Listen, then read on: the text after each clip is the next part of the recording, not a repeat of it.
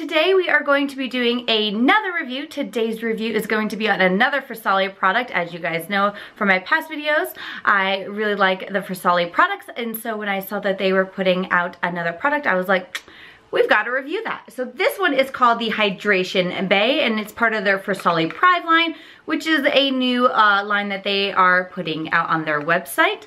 So if you guys want to know more about this product, then just keep watching. But first, remember to like and subscribe and let's get started. So the Farsali Prive line has no difference to it other than the fact that it is only sold on their website and these are not limited edition products. They're just made in smaller batches because since they don't have to be sold like sent out to stores like Sephora and held on their shelves, they don't need to mass produce them. They can just make them in small quantities and then when they sell out, produce more to, you know, be sold on their website. Uh, at least that's what they have been saying in the comments section on Trend Mood, so I am taking all my advice from there. It was a really cute package. I was kind of nervous because on their website it looked super small. So I'm gonna be interested to see how big uh, this container is because this retails for $62, which I know is crazy. But if you only have to use a little bit of product every time and it is like a good amount, then you know, when you break it down by how much you use and the price, it might not be as expensive as we think. So let's see, I'm gonna open this up. It comes with a little like uh, scooper so you don't have to stick your finger in there and contaminate it. And this is actually a decent size. Now, I wish I had something to compare it to. But like compared to my palm, it's pretty much the size of my palm.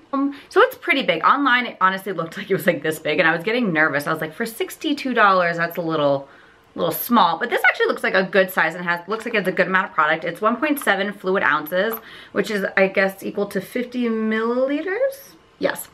And it has a nice safety seal on top. So we're just gonna pull that off. Oh, good. You can put this back on. Okay, good. I thought this was gonna rip off and then it was gonna be open. I was afraid it would dry out, but no, it's a lid that you can put back on. Okay, so it's like a gel texture and has these little beads in it. Now, for all you guys who are wondering, these are not micro beads. These will, once you leave this mask on, you are supposed to put this mask on and let it sit for 10 minutes and then you massage it into your skin and these little beads will disperse a serum onto your skin and just kind of dissolve um, uh, dissolve into your skin. So let's see what it if it smells like anything. It honestly has like no smell. It kind of just maybe a little fresh. I don't, I don't really know. it, there's really nothing there. What I think we're gonna do with this video is first, I'm going to apply this all over my face and while it sits, we'll just go over some of the ingredients and, uh, you know, talk about what makes this product so special. So let me just pull my hair back and then we will start the demonstration. But I just threw my hair up in a ponytail really fast so you guys might see a few of my extensions. I didn't really see to make sure that they were covered. And we're gonna use our little scooper and just put this all over our skin. I don't know how much you're supposed to take, so I just, you know, just the guess and check moment. Oh, it's nice and cold. It's really cold and I actually um, didn't refrigerate it or anything. So I'm wondering if it just is naturally supposed to like soothe your skin as it goes on. Okay, I definitely think I took too much. Let's see, you guys can see like the little beads all over. Um, so what that's telling me is that this, you only need a tiny bit of product all over. I'm just gonna bring it down my neck because why waste product, you know? I'm trying to put all the beads. I paid for each one of these beads, get them on my skin. Beads like sticking to my hands and I don't guess we can just rub that in. So we're gonna let this sit on my skin for 10 minutes. I just set a timer and right now let's just talk about the ingredients and why this product is so special and why we potentially need to have it. Reviewing skincare products is a lot different than reviewing makeup products. Makeup products, you can kind of make up your mind about them within like 24 hours versus skincare products can take you quite a bit of time because, you know, you're not going to see dramatic results like right away. But I kind of want to go over what is in this product and why and what it's supposed to do for your skin and because you can buy products um, you know either high-end or drugstore that you go through the list of ingredients and you realize I wasted my money because there's a bunch of bad ingredients in here and you know just one good one or whatever. Like you, they're only going to talk about the good ones. So you need to make sure that the rest of the products are you know good and safe for your skin which is why I did all my research. I'm sorry my phone is going off. Um which is why I did all this research because I, I went over every single ingredient in here. There are 25 ingredients. And I wanted to make sure that it is worth your $62 because that's a lot of money. And I'm glad what I know so far is you don't need to use a lot of product. Okay, so Trend Mood posted a good uh, a post that kind of just went over it very, um, you know, the main ingredients and kind of tells you the background. So I'm just gonna read what they wrote.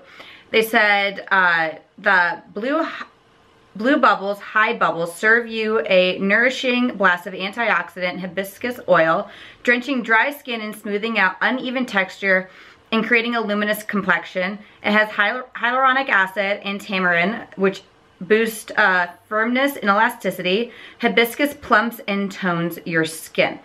So I feel like the gel portion of this must be the hyaluronic acid and the tamarind and the little Hybubbles, which are the blue little bubbles on my face, are the um, hibiscus oil. So I'm gonna leave the list of ingredients in the description bar down below so you guys can go and check them out. I'm gonna give a little brief description after every single um, ingredient. However, I will also link all the websites where I found all my information from, so you guys can go and check those and look uh, more into the ingredients if you would like. But I'm just gonna go over uh, some of the ingredients that I found interesting. I am probably not gonna say the names because I'm just gonna butcher all of them. But like I said, look in the description bar below and you'll know what I'm talking about. So it's important to note that this face mask can be used at night as like a moisturizer or can be used uh, in the morning as like a glowy foundation base, which is how I'm gonna use it today. So after I you know, wait my 10 minutes and massage the beads into my skin. I'm gonna apply makeup and we'll see how it works as a makeup base. But now let's jump right on in to the ingredients. When I started looking at the ingredient list, it was a little overwhelming for me because there was a lot of words and I'm a person, I have a biology major, I've taken many chem classes and stuff. But even I sometimes forget that there are scientific names for something as simple as like vitamin E. And when I was looking at the list, I was like, oh my gosh, like, because I would see like the main, like, you know, the hibiscus oil or whatever in there. And then there would be like a lot of scientific names in the mix. And I'm like, what do they do and are they okay for my skin? So that's why I wanted to do this research for you guys so you don't look at the label or the ingredient list and go, uh, what is that and why am I paying money for that? Is that just a filler? So one ingredient that I found that I thought was interesting was sodium hyaluronate, hyaluronate, hyaluronate. I told you I'm gonna butcher these names, so I'm not gonna say most of them because it's just gonna be terrible.